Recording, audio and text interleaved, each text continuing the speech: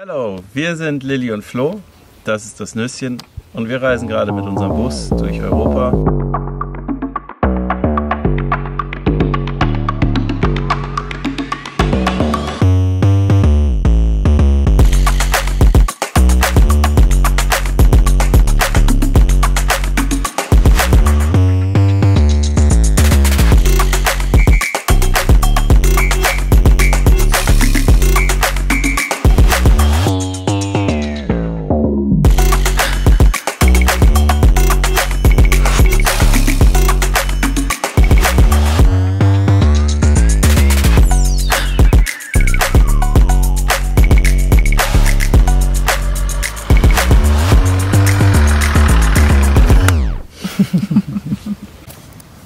Lilly, was machen wir jetzt? Trinken Kaffee. Und dann gehen wir nochmal zu den anderen Wasserfällen.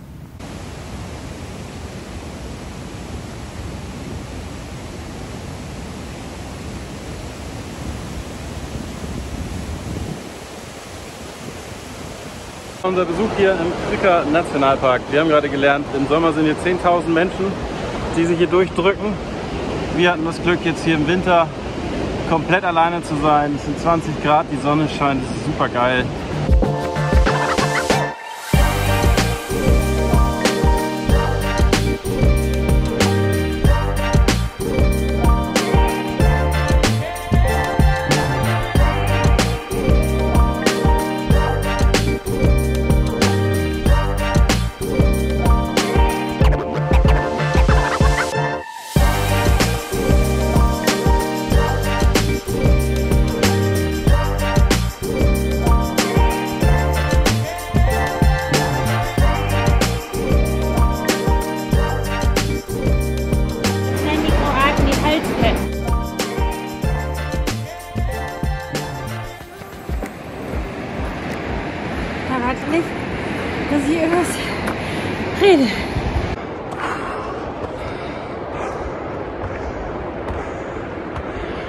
200 Stufen.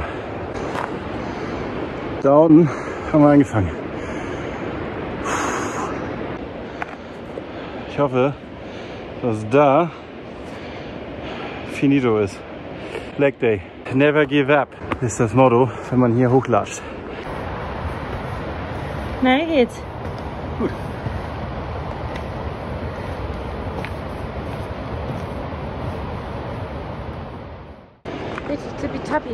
Auf zur Höhle. Auf zu Bild. Wow, Florian. Oh no! Nee, ey. Klar. Höhle zu.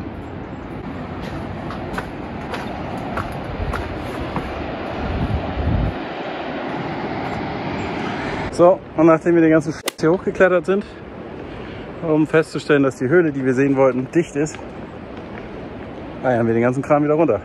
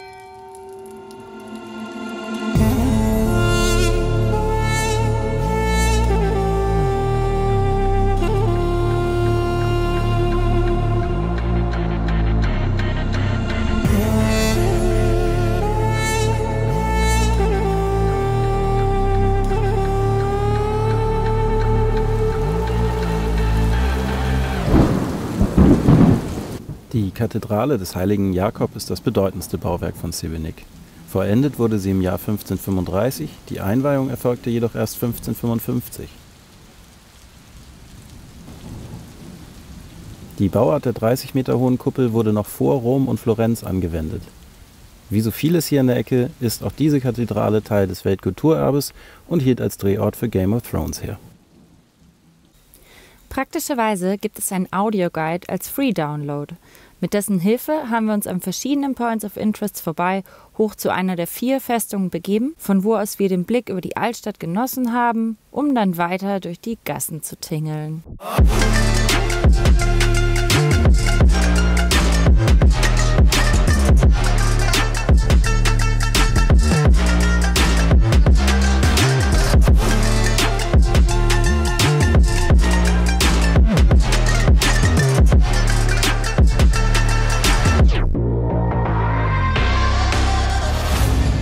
Und lecker?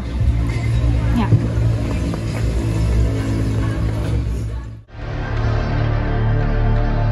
The Nut. Wir stehen jetzt hier wieder in Kroatien zurück auf äh, bei Maliston und Ston und äh, sind jetzt hier zu so einer Mauer gefahren. Die zieht sich hier, ach Gott, das kann ich immer nicht, zieht sich hier den ganzen Berg rüber und ist wohl neben der chinesischen Mauer die zweitlängste Mauer der Welt.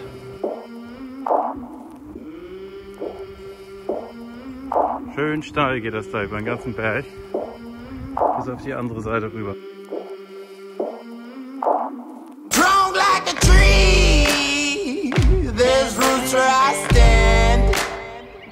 Oh. Das ist auch mies, wenn du denkst, du hast hier Dienst auf der Mauer, musst dann jeden Tag erstmal hier hochrödeln, bis du dann beim Turm bist. Wäre ja lieber bei meinem Turm gepennt. Und dann Arschkarte ist, wenn du da oben Dienst hast. Ja. Knut. Gehst mal mit deiner Lanze hoch. Um 8 Uhr fängt's an. Guckst ein bisschen.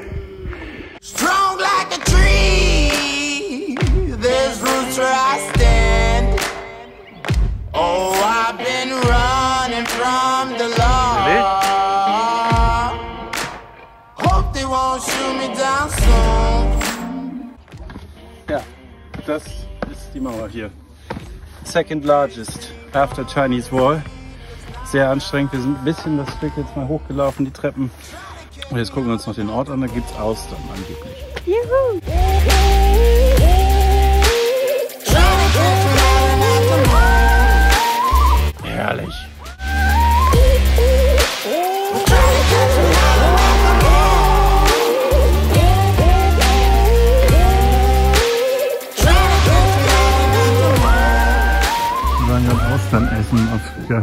Auf Wunsch einer jungen Dame.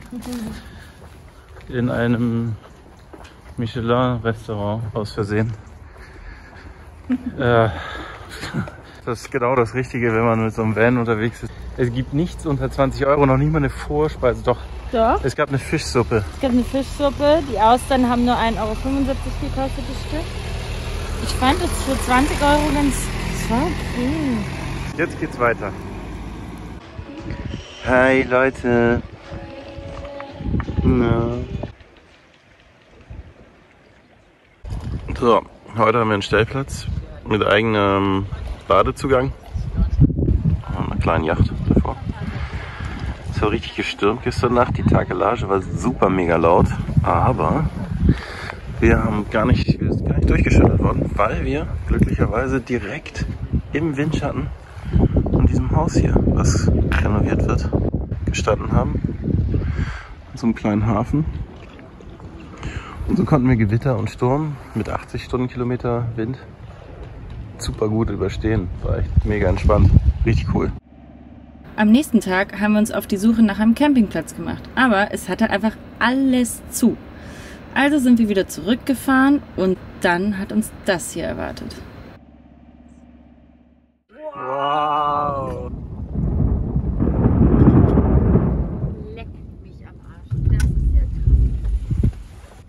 Wow. Unsere aktuelle Kulisse. Einer nach dem anderen. Alter, Wenn das nicht dramatisch ist, dann das ist schon dramatisch, ne?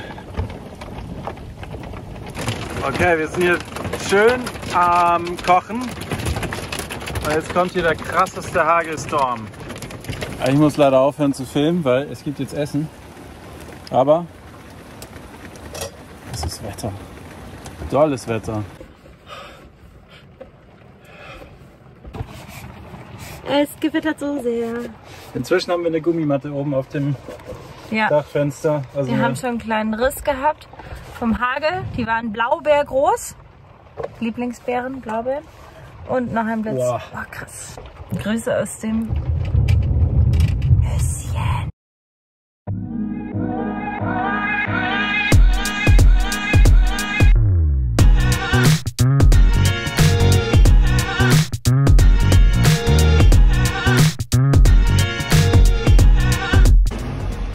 So, unser Gasfach leer, weil erste Flasche leer.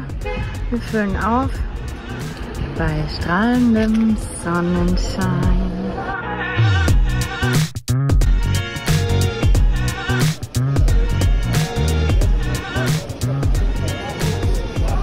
Wir sind in Dubrovnik.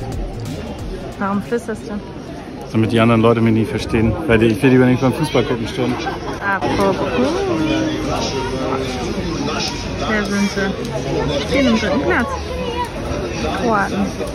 So, und während sich die einen nervlich und gedanklich auf das Spiel vorbereiten und mit der bangen Frage auseinandersetzen, ob es der dritte Platz wird oder doch nur der undankbare vierte, sind wir durch die Stadt gegangen, haben ein paar Grimassen geschnitten und dann eine schöne Bar gefunden vor den Mauern der Stadt mit herrlichsten Ausblick auf den Sonnenuntergang. Jo, Prösterchen.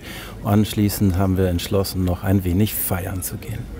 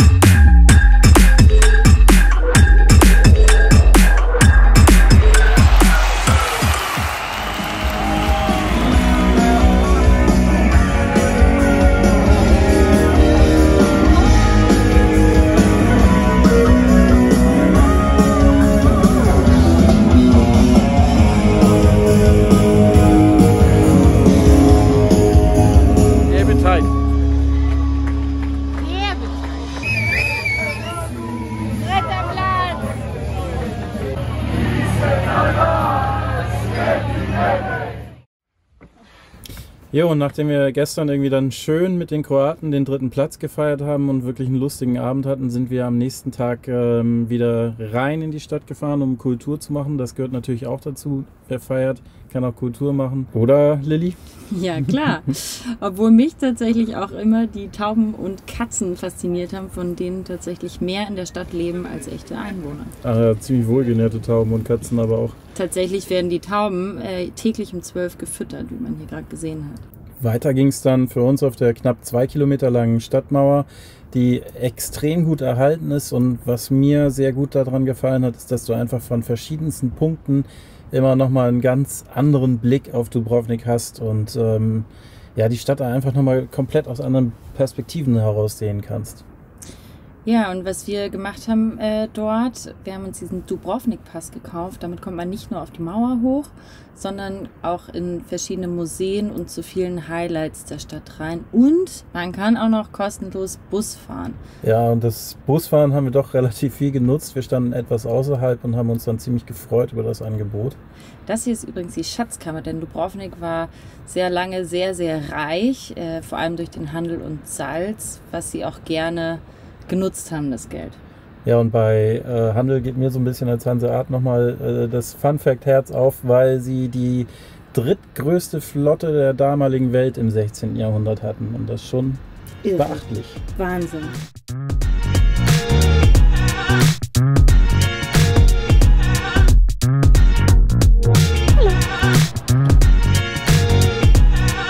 Besuch hier Selfie-Videos zu machen, aber es sind immer mal wieder Leute um uns herum, dort so sehr Blogger, YouTuber, sonst was, bin ich nun auch noch nicht, dass mir das nicht peinlich wäre.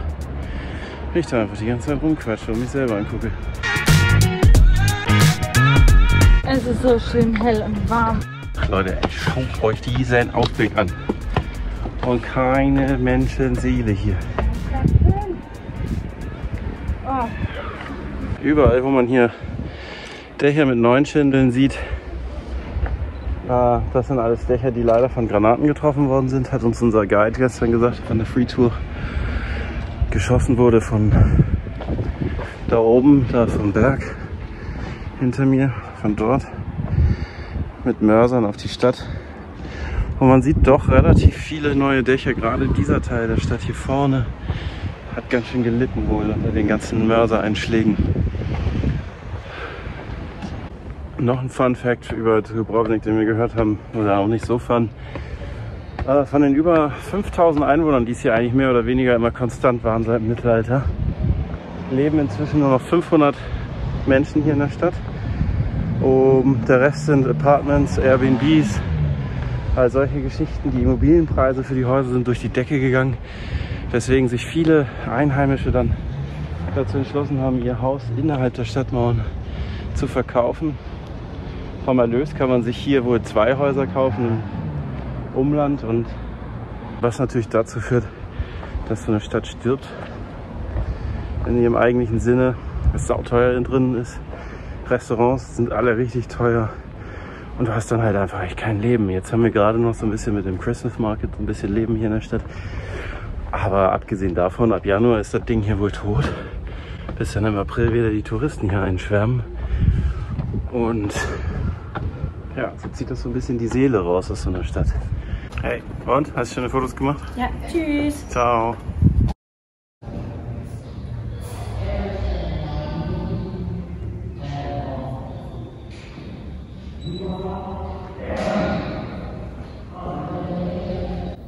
Hier waren wir im wunderschönen Franziskanerkloster, auch ein Ort, den man sich anschauen kann mit dem Dubrovnik-Pass.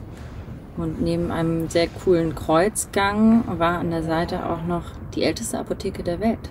Ja, genau. Ein Museum von der ältesten Apotheke der Welt, ähm, was man jetzt hier gut sieht im Bild. Ich fand ähm, mega cool, dass da auch so ein ähm, medizinisches Buch aus dem 16. Jahrhundert war, auf Deutsch, äh, wo es über die Verwendung von Johanniskraut geht und wie man Blähung damit und so Siehe weiter und hier. so fort äh, behandelt. Also es war irgendwie ganz lustig zu versuchen, diese alte deutsche Schrift zu lesen und zu entschlüsseln. Was du dann Mühe doch sehr gekostet. viel besser konntest als ich. Dank meiner Oma, die noch Sütterlin geschrieben hat. Oder unserem kleinen Altersunterschied.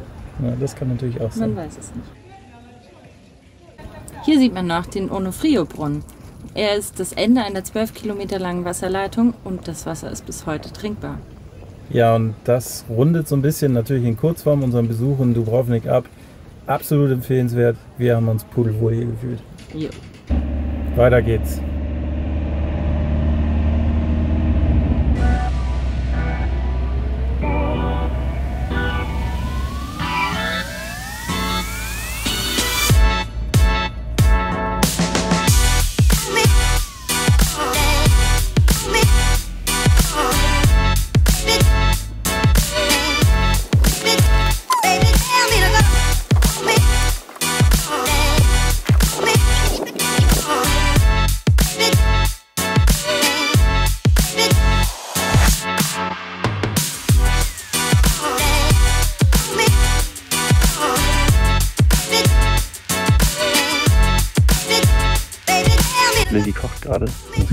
Wohl ein Menü, hat sie versprochen. Also ziemlich gespannt. Gucken wir mal, was die Küche so macht. Moin Lilly. Was gibt's denn so heute? Pasta, Ja, Salat, selbst gebackenes, aufgewärmtes Brot. ja. Geil. Reicht. Das reicht dicke. Komm, setzen Sie sich, setzen Sie sich.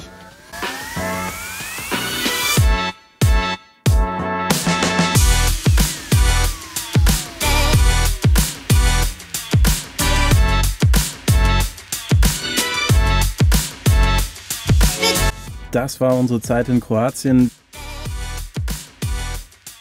Wir werden sicherlich nochmal wiederkommen. Das steht außer Frage.